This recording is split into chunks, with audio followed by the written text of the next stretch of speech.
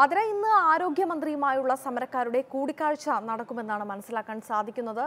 അമിത ജോലി ഭാരം അതുപോലെ തന്നെ സൗകര്യമില്ലായ്മ എന്നിങ്ങനെ എല്ലാ കാര്യങ്ങളും ഈ സമരക്കാർ എടുത്തു പറയുമെന്ന് തന്നെയാണ് മനസ്സിലാക്കാൻ സാധിക്കുന്നത് കൂടിക്കാഴ്ചയിൽ. കൂടുതൽ വിവരങ്ങൾ എന്തെല്ലാമാണ്? തീർച്ചയായും ശ്രേയ സൂചിപ്പിച്ചതുപോലെ തന്നെയാണ്. പി ജി ഡോക്ടർമാരും ഹൗസ് സർജൻമാരുമാണ് ആരോഗ്യവകുപ്പ് മന്ത്രി വീണ ജോർജുമായി ഇന്ന് കൂടിക്കാഴ്ച നടത്തുന്നത്. ഇപ്പോൾ മന്ത്രിയുടെ ചേംബറിലാണ് കൂടിക്കാഴ്ച. പത്ത് മണിയോട് കൂടി ആരംഭിക്കുമെന്നാണ് പറഞ്ഞിട്ടുണ്ടായിരുന്നത്. എന്നാൽ അല്പസമയം വൈകുമെന്നാണ് അറിയാൻ കഴിയുന്നത് കാരണം ഹൗസ് സർജന്മാർ നിലവിൽ എത്തിയിട്ടില്ല. പി ജി ഡോക്ടർമാർ ഇപ്പോൾ കൂടിക്കാഴ്ചയ്ക്ക് വേണ്ടിയിട്ട് മന്ത്രിയുടെ ചേംബറിൽ എത്തിയിട്ടുണ്ട്. ആരോഗ്യ വകുപ്പ് മന്ത്രിയും ചേംബറിലുണ്ടെന്നാണ് അറിയാൻ കഴിയുന്നത്. അല്പസമയങ്ങൾക്കുള്ളിൽ തന്നെ ഈ ചർച്ച ആരംഭിക്കും.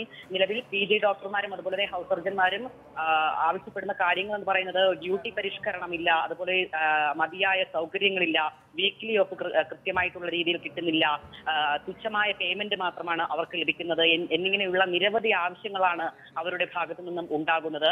ഈ വിഷയങ്ങളിലെല്ലാം തന്നെ സർക്കാരിന്റെ ഭാഗത്തു നിന്നും ഒരു ഉറപ്പ് അവർക്ക് ലഭ്യമാകണമെന്നും ലഭ്യമാകണമെന്നാണ് ഈ പി ജി ഡോക്ടർമാരും ഹൗസ് സർജന്മാരും ഉന്നയിക്കുന്ന പ്രധാന ആവശ്യം എന്ന് പറയുന്നത്. അത് മാത്രമല്ല ഡോക്ടർ വന്ദനയുടെ കൊലപാതകവുമായി ബന്ധപ്പെട്ട് പ്രതിക്ക് പ്രതിയായ സന്ദീപിന് മതിയാവുന്ന ശിക്ഷ. അതായത് അത് എത്രയും പെട്ടെന്ന് ആ ശിക്ഷ നടപ്പിലാക്കണമെന്ന ആവശ്യവും ഇന്ന് മന്ത്രിയോട് ആവശ്യപ്പെടുമെന്നാണ് അറിയാൻ കഴിയുന്നത്. നിലവിൽ നിരവധി ബുദ്ധിമുട്ടുകൾ ഇവർ നേരിടുന്നുവെന്നും പറയുന്നുണ്ട്. ആവശ്യത്തിന് ഈ സൗകര്യങ്ങളൊന്നും ഇല്ലാത്തത് ഇല്ലാത്തതിനാലും മണിക്കൂറുകളോളം പണിയെടുക്കേണ്ട അവസ്ഥയാണ് പി. ജി ഡോക്ടർമാർക്ക് ഉണ്ടാകുന്നത്. അതുപോലെ അതുപോലെ തന്നെ ഈ ഡ്യൂട്ടിക്ക് കയറുന്ന സമയം കൂടുതൽ ആകുന്നതോടെ ആകുന്നതോടൊപ്പം ഈ അക്കാദമിക് സമയം അവർക്ക് കൃത്യമായി ലഭിക്കുന്നില്ല എന്നുള്ള പരാമർശവും ഉണ്ടാകുന്നുണ്ട്. സർക്കാരിന്റെ ഭാഗത്തു നിന്നും ഉറപ്പ് കിട്ടിയാൽ മാത്രമേ സമരം അവസാനിപ്പിക്കുകയുള്ളൂ എന്നാണ് അവർ ഇപ്പോൾ വ്യക്തമാക്കുന്നത്. തിരുവനന്തപുരം മെഡിക്കൽ കോളേജിനൊക്കെ സംബന്ധിച്ചാണെങ്കിൽ നിരവധി പി ജി ഡോക്ടർമാരും ഹൗസ് സർജൻമാരുണ്ട് അഞ്ഞൂറിലധികം ഡോക്ടർമാരാണ് തിരുവനന്തപുരം മെഡിക്കൽ കോളേജ് ആശുപത്രിയിൽ മാത്രമുള്ളത്. പക്ഷേ ഇവർക്കൊക്കെ തന്നെ